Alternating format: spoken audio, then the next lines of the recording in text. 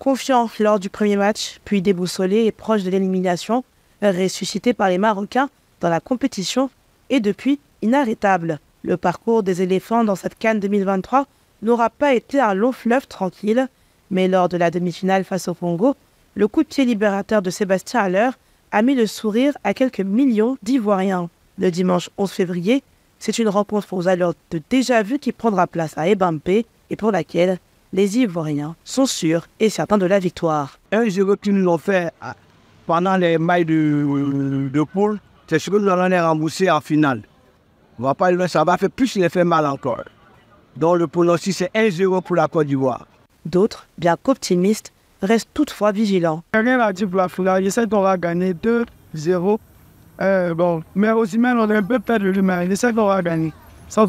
Ouais. On a Alder, le Visser, tous les jeux sont là, mais on va gagner. Ça. Avant de savoir qui du Nigeria ou de la Côte d'Ivoire soulèvera la coupe, la République démocratique du Congo et l'Afrique du Sud s'affronteront pour la troisième place. Quand je regarde la configuration des deux équipes, je, je pense plus pour l'Afrique du Sud. Euh, un score aussi de 2 à 2 à 1 pour l'Afrique du Sud. Les 10 et 11 février prochains s'annoncent d'ores et déjà sous haute tension pour les fans de ballon.